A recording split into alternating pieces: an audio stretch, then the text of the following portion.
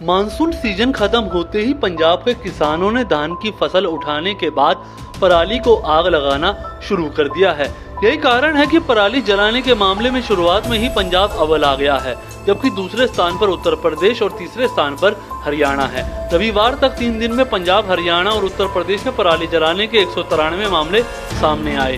कृषि मंत्री कुलदीप सिंह धालीवाल ने पराली जलाने पर रोक लगाने के लिए हैप्पी सीडर मशीनों पर सब्सिडी के आवेदनों की समय सीमा बढ़ाई। उन्होंने मिट्टी में पराली को अवशेषित करने के लिए कृषि विभाग के पायलट प्रोजेक्ट के तहत 5000 एकड़ में डीकम्पोजर घोल का छिड़काव करने की बात कही।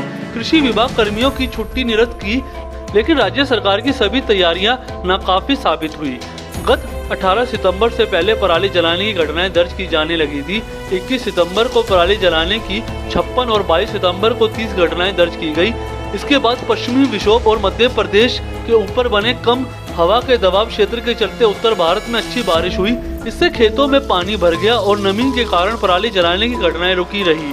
लेकिन खेत सूखते ही पराली जलाने की घटनाएँ तेज़ी से बढ़ने लगी हैं। Video desk Amar Ujala dot com. Download करें अमर उजाला ऐप और पाएँ खबरें लगातार। अगर आप ये वीडियो YouTube पर देख रहे हैं तो हमारे चैनल को सब्सक्राइब करें और बेल आइकन को दबाना ना भूलें। अगर आप Facebook पर यह वीडियो देख रहे हैं तो हमारे पेज को लाइक करें।